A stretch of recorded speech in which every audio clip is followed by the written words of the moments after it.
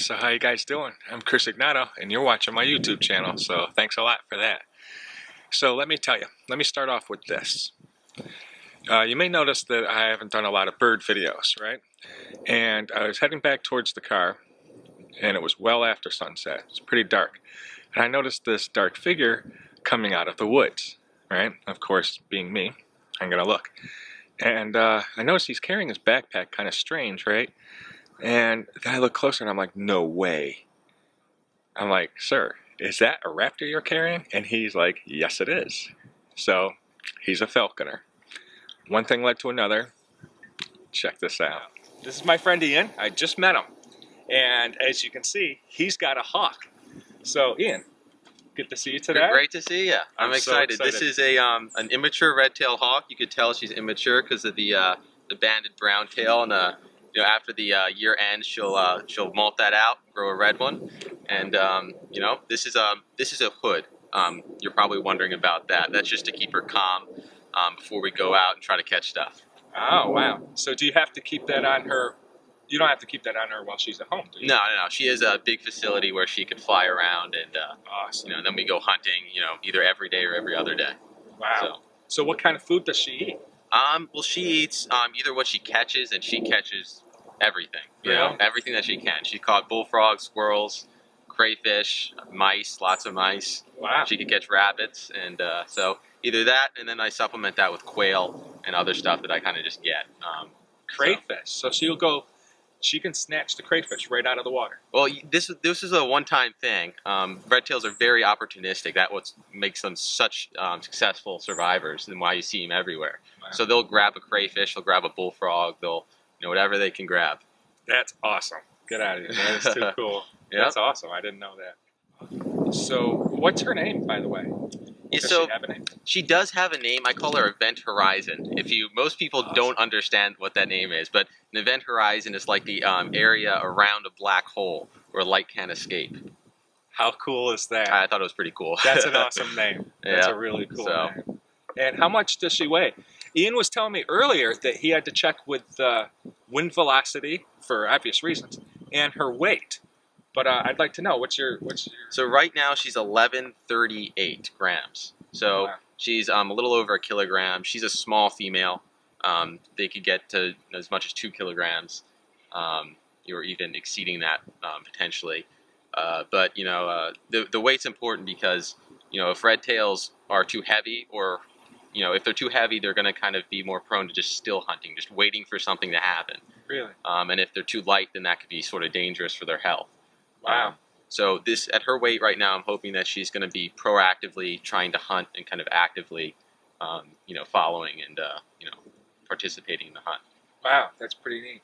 Yep. So does that also vector into or factor into wind velocity? Do you have to do that every day? Um, you, you mean tur- like decide her weight? Yeah. Yeah. So I, I weigh her at least um, two, three, sometimes four times a day. Wow. Um, and uh, yeah, so that definitely is something that I keep a log of every single um, weight she was at every single day that I've had her. Holy cow. Yeah. So talk about responsibility, guys. So that's a lot of work. yeah. How do you um? How is it that you're allowed to do this? Is, do you have So, to have any yes. special permits? This is a um, yeah. You need it's very regulated. There's only 30 falconers in New Jersey, um, and uh, you know more in Pennsylvania. I'm not sure how many, but um, you need to get a license. You need to pass a test. You need to get sponsored for two years by um, a master or general class falconer, um, and uh, build the facilities, get them approved by the state. And that's just to get the license, and then you need to find one, which can be hard or I can imagine. be easy. Are you allowed to have more than one? Are you allowed to sponsor more than one person at a time? Um, I believe you can. Um, uh, not too many though, because it takes so much time. Most people, it's hard to convince them to sponsor one person. What made you decide to do this? Uh, well, my dad. Besides it being awesome, I mean, It was kind of, you know, uh, my dad told me that it existed, and then it just was like, yeah, I'm doing this, you know. Um, so, you know, I, I got into it when I was a freshman in high school. really. Uh, now I'm a senior, uh, about to go away to college, um, and uh, you know, hopefully I could do it through college and on. How So- cool is that? Yeah. Awesome. So it's people like this that bring us half our knowledge, just like the snake keepers. Half the knowledge we have on herpetology comes from the people who breed and raise them and do the husbandry. So it's people like Ian that bring us a lot of knowledge we have and the protection and awareness of birds such as Event Horizon. So that's awesome, man. yeah, so uh, even the Peregrine Fund, I don't know if you heard about that. That was um, almost entirely falcon. It was started by Tom Cade, who was a falconer at Cornell. Oh, cool. Um, and a lot of the peregrines that were brought into the breeding program were from falconers. And now there's peregrines that you could see. I saw one right on my road. So, Really? yep. See? So if it wasn't for them, you know, they're another soldier of the fight for protecting the environment and nature itself. You know? This is what saves our future resources for our generations to come. So awesome. Yeah, so we're going to um, shortly be uh, unhooding her, throwing her up into one of these trees, and, uh, you know, then we're going to go and try to catch some stuff. Okay, Ian's gonna dehood her now and turn her loose.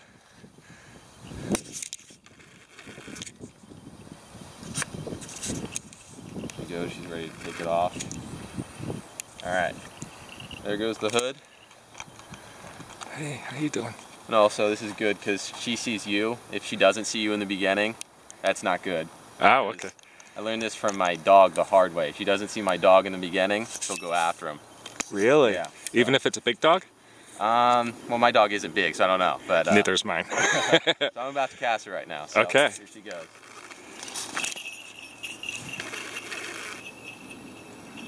Great. All right, we're off. And what's the bell for? Is that so that you can tell where she is? Yeah, because it's hard. Okay. Yeah. She. She just disappears, guys.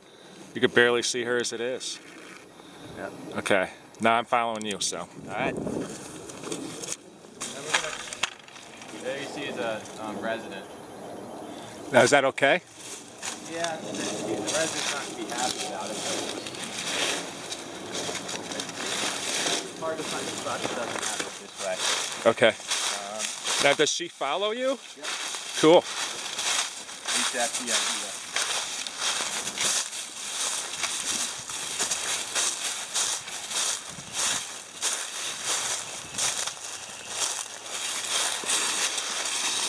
I love living things, all living things.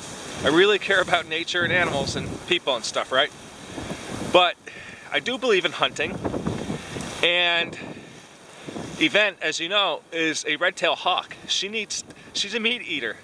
This is how you get her food, okay? So we're gonna be hunting primarily for squirrels.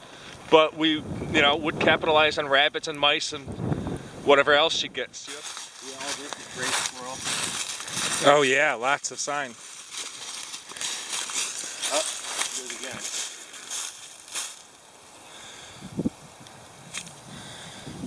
Now another. Yeah, she probably saw something there. Okay. Really? Yeah. I'm gonna I'm gonna run out if you see outside. Okay. It's a game flight right now. Me, she spotted game. I'm gonna try to call her down to the fist just to make sure that she's not bumping to the uh, so um, you can somewhat near me. Okay. As she can go. Awesome.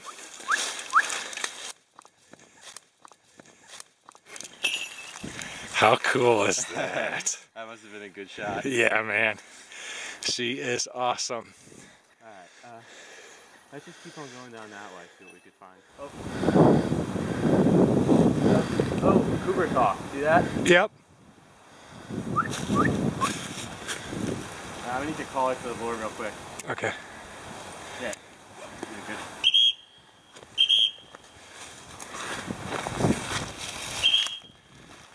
Watch this. Awesome. That was cool.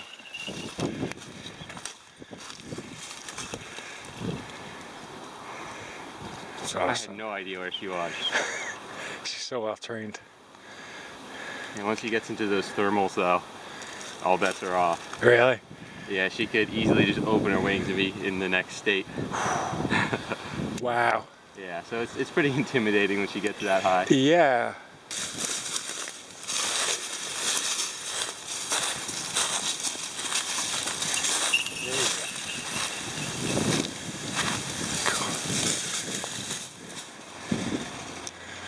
So Evie, which is what I'm calling her, has a transmitter. And now he's using it to track her down in case she has a squirrel. He doesn't want to alarm her or stress her. And this is the more passive way of tracking her down if she does have a squirrel. Now, in case you're wondering about the impact that falconry has on the environment, it's actually really positive. Falconers, as you might know, do breed their birds of prey. Not always, but they do breed them. They help increase the population. As you know, the populations are diminishing due to natural reasons, of course, and human related reasons such as power lines and uh, road kills, pollutions, hunters, things like that. And also, their health is closely monitored. So it actually increases their success rate and decreases their mortality rate. That's actually pretty cool. So these are healthier birds being re-released into the population, into the environment, replenishing that population that's already decreasing. So it's a good thing. And it helps reduce the numbers of some of the animals that aren't in check anymore because there's no coyotes. There's not as many coyotes and foxes and things that hunt them, including other birds of prey. So this helps keep them in check also. I gotta get back to what I'm doing. Because uh, when we look through a binocular, our field of vision is cut down. Yes. So with them, they have the same field of vision, but it's just more vivid. So, so it's the detail and sharpness. Right. So, cool. You know, imagine if you could see an atom. You know, yeah. it's like without a telescope, you just see it. You have more capacity to see detail. That's amazing. I know birds can see in slow motion because uh-huh. uh, their brains are faster. So it allows them to actually dodge rubble, like when they're um, demolishing buildings or uh-huh. a kid throws a stone at the bird, the bird sees it move through the air slowly. How long have you had her? Um, I got her in middle of September. Oh wow! Yeah. So, and you've trained her since then. Yep. Holy so cow! and now she's catching stuff. You would never know. I would never know. That's incredible. Yeah. You guys seem so in tune. Yeah, she's a good bird. Yeah, she is. You've done an amazing job. Thank you. Okay, I'm ready whenever you are. All right, Gust.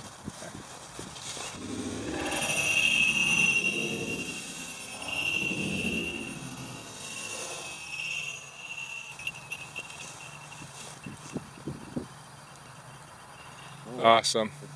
Yeah. Just go in, start this way. So, our goal right now is to flush game. That's what we're trying to do. And she watches us like a hawk. And if any game's flushed out, she's on it. But you gotta shout, ho, ho, ho. And that's the, uh, that's the mission call. That means there's game. And she'll be all about it. Here she comes. Okay. You want to get somewhere close?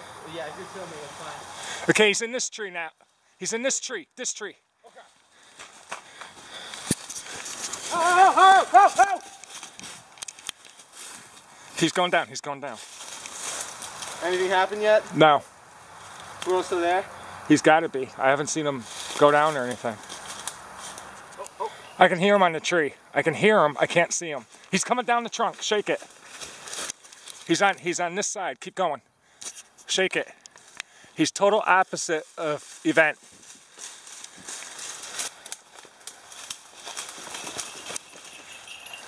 Oh, she just missed him. She just missed him. He's still in the tree. Around there. Yep. He's right up there. He's uh, on the opposite side of the trunk now. His head's facing down. He's about th three quarters of the way up.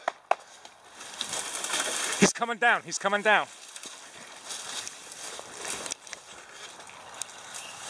Oh crap, where? She's right beside him, dude. When the, still, the chase goes stagnant like this.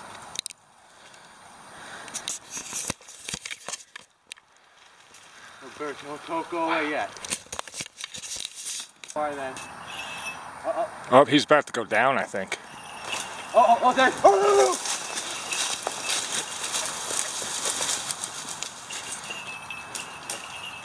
oh, oh, you see the bird trying to flush it? Yep.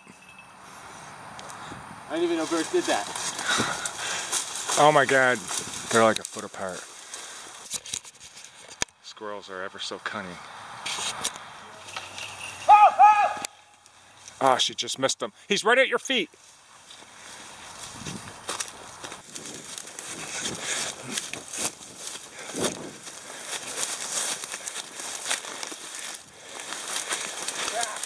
She missed?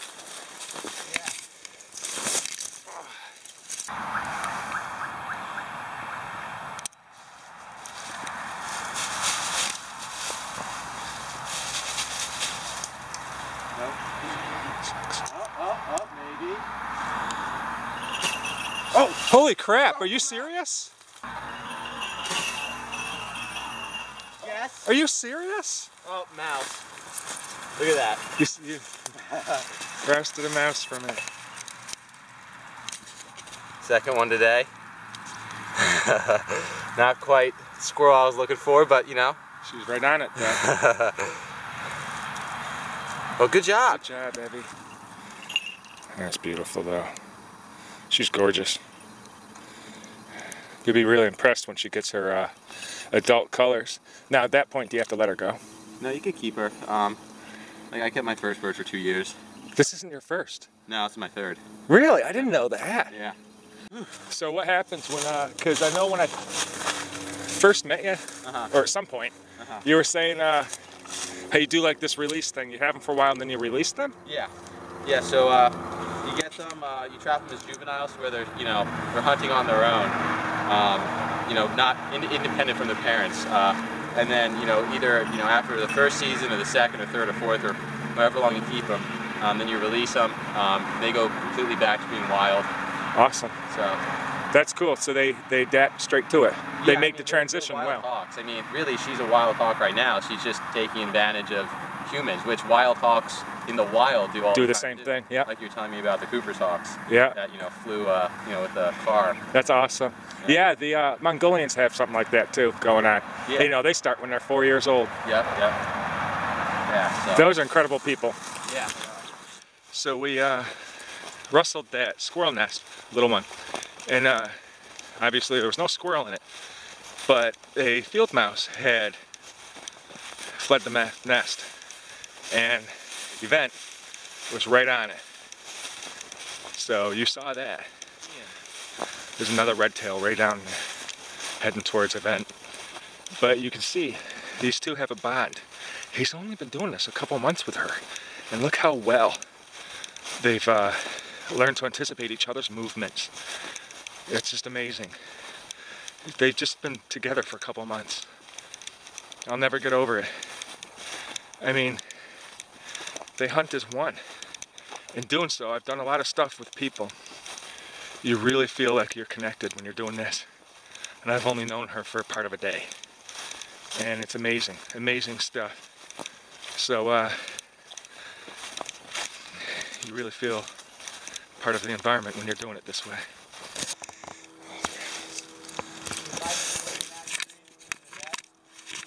I, I don't know if we're gonna be able to get it out. Oh, she got, she's on one, she's on one. Okay, there's a rabbit that around here. We're gonna go around, scrape around, try to flush it back towards her. Where do you want me to go? Try to get here. Oh, let's go, let's go. She got it. No, I don't think she did. Oh, really? That was a cool flight though. Yeah, it was. Alright, get back up, try again. Okay, you want me to go back this way and around? I'm trying to think where the rabbit would have gone. Probably right into here. There's a stream right here. Alright, I'm and cover. right back into that tree. Okay. Ready? Go, girl. I think a higher pitch than that. Come on.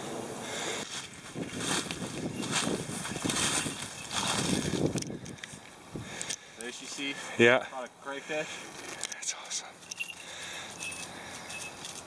Not exactly a rabbit or a squirrel, but you know. That's awesome now. She's up in the tree and she spots herself a crayfish in this water with those reflections. Do they have polarized vision? I'm not sure exactly. I bet they do. I mean, I think they don't hunt much in the water. So, but I probably eagles do. Oh, wait a minute. They do have polarized vision. All birds do. Because uh, when you let one go in the city, even if it hasn't been there before, when it looks up, it sees the solar waves. It can always tell what direction's north, no matter where it is on the planet. It literally sees dark waves moving through the sky. Wait, really? Mm-hmm. So that's how they navigate. Yeah, that and lands and uh, landmarks. All right, girl, let's go. So we try to flush quarry out for prey. Try to what? Okay. She keeps her eyes on both of us. And she's an amazing sentry. She spots prey very well. I mean, the way she spotted that crayfish. Shut that drink.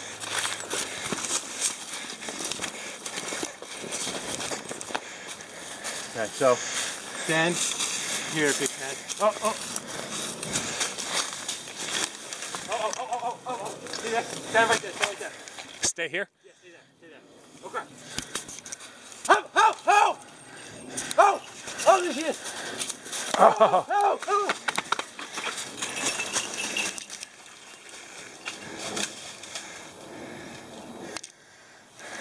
You see where she is? Uh, yeah, she's close between me and you, and the squirrel's almost above your head. Back in the tree that you were under. And She's not looking at it anymore, though. Yeah, that's what I'm waiting for. Alright, now. If she turns around. She turned around. She's looking at you. It is. It's at the top of the tree, the very top of this tree. Oh, there she goes, there she goes! Oh, oh, oh, oh! Where's she? Where's she? She's right here. Oh my gosh. That was crazy. This is crazy. Alright, she's here. The squirrel's still, yeah, I see her, and there's a squirrel in this tree behind you, right there, right there. Oh, Let's oh. go down the tree. Okay, she's like five and a half feet above him. The squirrel is? Uh, she is about five feet above the squirrel. The squirrel's on the other side of the tree from you. He's going down the tree. He's going down the tree. Okay, he's coming back this way. He's in, okay, he's on the ground right here, right here. Oh, there's one over here too.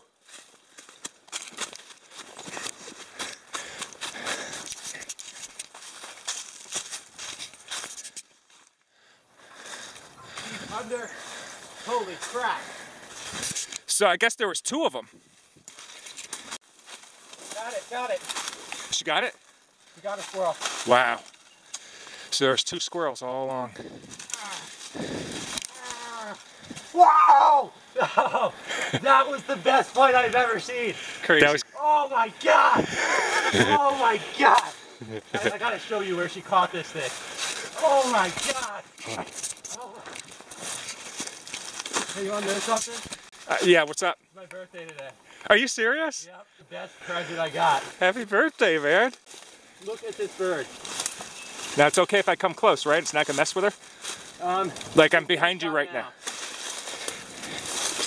I don't even see her.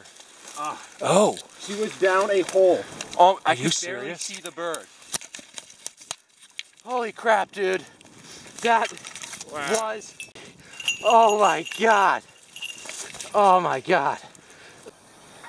You know, I've had one of the rabbits that she caught. I, I ate, awesome. and it was one of the most delicious meals. It was Kentucky Fried Rabbit. That sounds amazing. It was. So you guys just saw what goes into this. Okay, a lot of effort, a lot of flushing and stuff like that, and you see, I mean, it's like watching a battle. You know, watch them go back and forth and all that. She actually shot down through all this thickness that we could barely fit a foot through. She went through that after the squirrel and was down a hole. He had to pull her out of the hole, but she had her catch. She got the squirrel. So that's a huntress if there ever was one. Take her out. Look at that. Look at that. She doesn't even want to let go. Oh no. That's the hunt. Ah. That's a bunch of styrofoam there. Yeah. Oof. That was amazing, man. Yeah, so now I have more room. I could kind of actually do Do what it is you're trying to do. to do. So you could, uh, this is called a trade-off. Okay. Um, you got a squirrel head. You want um, to give her this and get the squirrel. So I'm gonna put both hands, one on the squirrel, one with her right above her feet. All right, so again, once she's ready, which seems to be taking a while, she'll just take the take the rat uh, the squirrel head. And now what I have to do, if she's trying to eat it, I have to limp wrist her. So that way she'll put up a foot like that.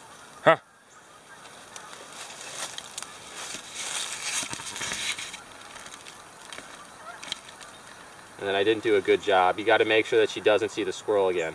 Oh. That's got to be hard sometimes. Yeah. I mean, normally it's not this hard, Okay. but she, again, is wired.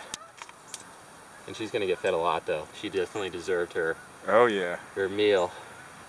Just not this, because I don't know if you've ever tried to skin a squirrel. Yes. It's not fun. No. No. Rabbits are easy, but not squirrels. Yeah, rabbits are like ideal, honestly. I do I do know with squirrels it's a lot easier when they're warm than when they're you know, once they start cooling down the the skin sticks more. No, it's good to know. I didn't really know that. Yeah. Yeah, I'm just gonna let her try to eat it, because Okay. quite frankly, she's not gonna be able to. Okay.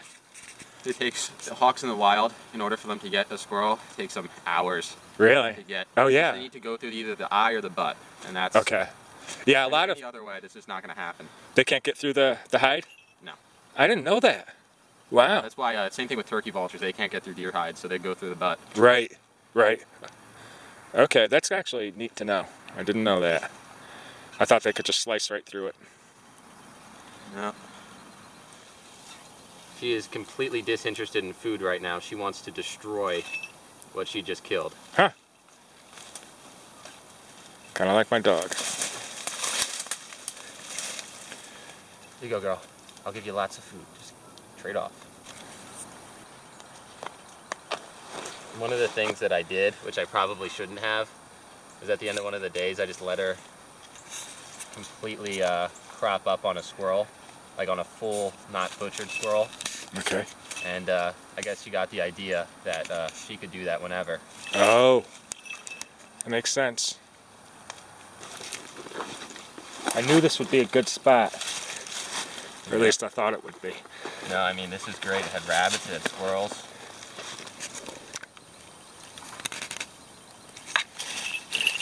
There we go. Now I just let her have it. Awesome. Good job. And once she puts two feet on it, she's like, okay, I'm done. Okay.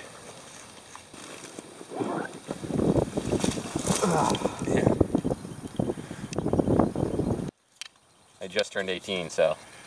Oh, I'm a nice, man. falconer now. Really? Yep. Very cool. Doesn't really change much. I'm gonna still be hunting with the red tail. But it's got to be awesome, though. It's Yeah. got to feel good. Yeah. So, how much experience? Like, how what what else do you need besides age to be a general? To be a general, well, you Yeah. need to be obviously have the sponsor um, for a minimum of two years. okay. Um, for me, it was four. Huh. Um, and then uh, you need the facilities built. Um, you need to have had a X amount of time owning a red tail or whatever bird. Huh.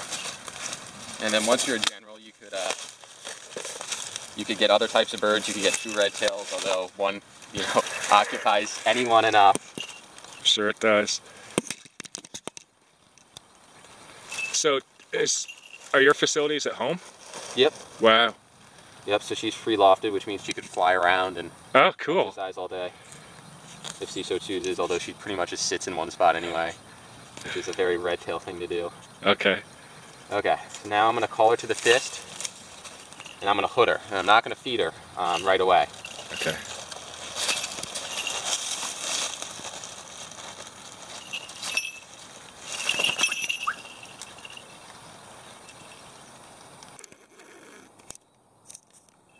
That's for resetting.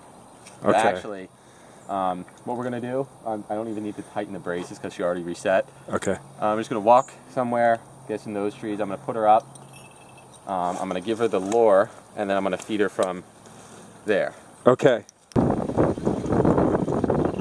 This is just like the field leash to the. It looked like accidentally used the grip of Jesse's.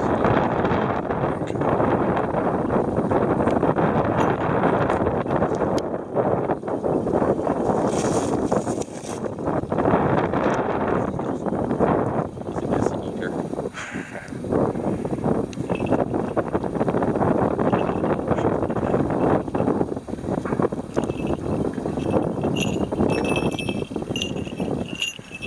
That's awesome knowing that, you know, should you ever need it, you've got you've got a hunting party, you know? That's just so cool. Yeah. So cool. Yep.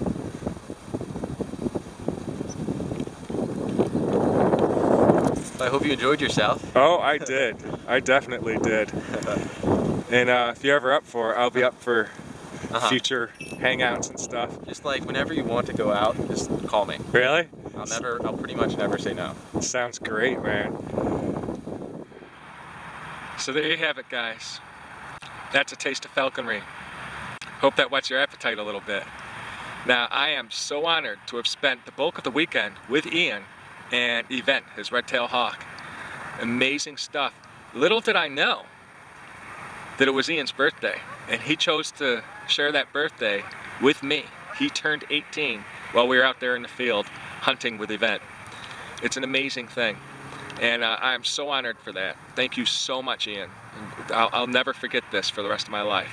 My first taste of falconry was with you on your 18th birthday. So he began falconry at the early age of 14. That's pretty young. And I'm pretty sure that there, and I'm, I'm sure that there are others who have started at an earlier age. But come on, probably not many. And you can see the bond that he has. Falconry, the way we did it, that art, is a very active form of hunting. You are connected. I feel so connected with the environment doing so and with her. I felt that she was an extension of us. But even more so, I feel that we were an extension of her. It's really cool stuff. It, it wears you out a bit, but it feels great. Get your heart racing. And just by watching Ian, I see a connection, a form of bond, where if Event's heart rate goes up, his is too. That's what it does to you. I could feel it, and that's not even my bird. Okay? It's just really cool. Ian is such a well-spoken person. He's knowledgeable. I can only imagine what he'll be like 10 years from now. Incredible stuff. If anyone's considering perhaps contacting him or hiring him to do a program for a school or something, I definitely encourage that. Perhaps contact me and I'll I'll connect you to him. So once again, thank you very much, Ian and Event. I'll never forget this. Thank you guys for watching this video. I really hope you enjoyed it. And uh, until next time, I'm Chris Egnoto, signing out.